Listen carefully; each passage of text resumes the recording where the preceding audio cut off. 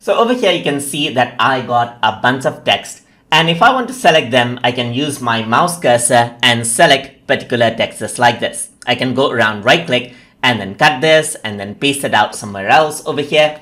I can press enter, paste it out. But in case I want to uh, select all of the text right here, I can go around on my keyboard and press Ctrl A on my keyboard right here. Once I do that, everything is selected. So now what you can do is you can cut this, you can paste this out, or you can press Ctrl A to copy this and then paste this out as well. To paste it, I can press Ctrl V on my keyboard as well. So similarly, you can go around press, um, um, instead of pressing Ctrl A, you can also go around into edit and over here you can see select all is an option. Once you click on this, everything is selected. So you can go around and then copy this out and you can press enter right here and paste this out over here as well. And that is how you can work around with select all option inside of Notepad so hope you guys learned something as always.